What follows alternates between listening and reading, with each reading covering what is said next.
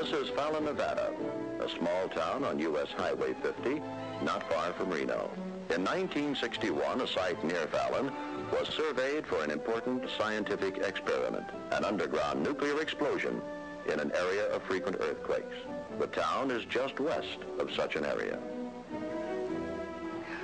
Well, perhaps we all were a little concerned about the shot when we first heard about it, thinking perhaps it might trigger off an earthquake. However, by the time the shot, the day of the shot, well, people were going about their business unconcerned.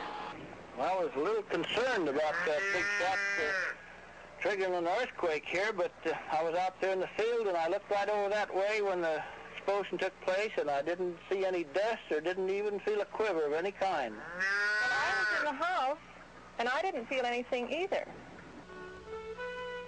Few communities have had the experience which Fallon residents had. Project Shoal was only the third nuclear experiment ever conducted in the country outside of the Nevada test site. Most citizens of Fallon took the detonation in stride.